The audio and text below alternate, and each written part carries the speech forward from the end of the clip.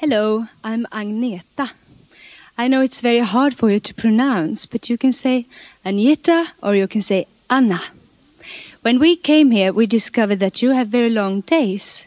In Sweden, we have only five hours daylight by now. We go skiing, we play ice hockey, and we talk about love.